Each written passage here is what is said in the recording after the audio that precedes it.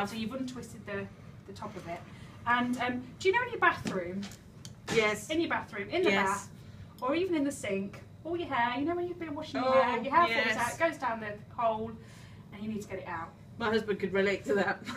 Well, apparently, you just get a metal coat hanger and just pull it out. So have a go. So stick it into the yeah into the there we go. in in the hole, and just This is not the bathroom, fish it out. This is not the bathroom now. And there shouldn't be any sort of horrible things in here. I'm I'm Probably is. scared for my Oh, eyes.